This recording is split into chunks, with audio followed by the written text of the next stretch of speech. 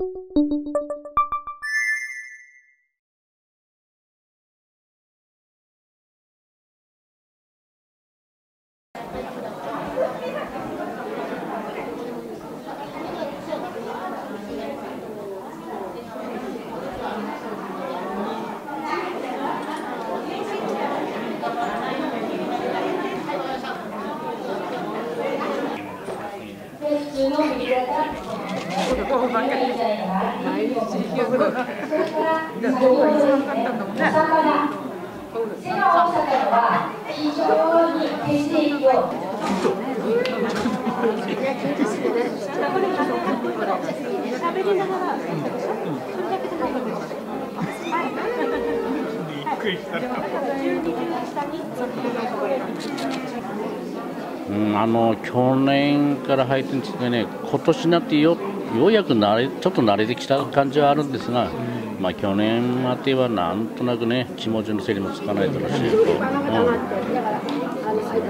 今年あたりだとだいぶ落ち着いてきたって感じはね。まあ、地元の方に帰ると、やっぱり放射能もちょっとは下がってきてるんですけどね。ね最初はグーでいきますね。で、勝った方だけ、まずはこちらの方に集まってください。大丈夫です。会社皆さん一緒にそれぞれ。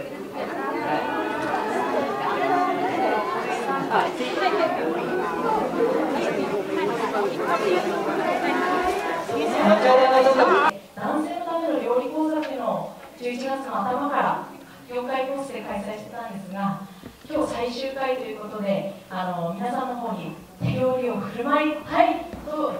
いうことです。よあ皆さんの健康に十分利用して、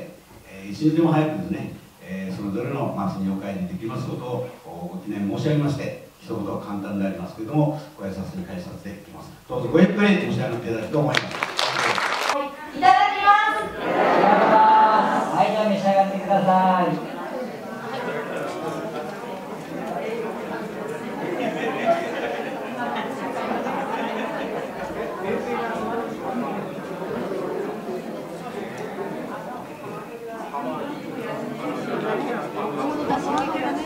うん。